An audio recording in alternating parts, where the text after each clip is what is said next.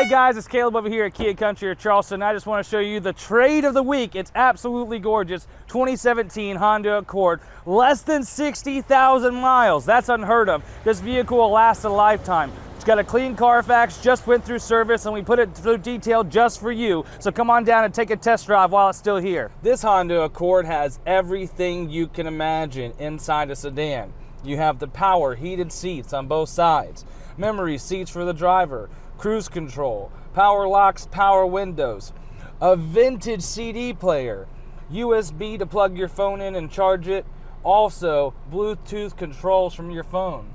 You have a sunglass holder, which is very rare luxury to have, and not to mention a beautiful one-touch sunroof. So come on down and check this out while it's still here.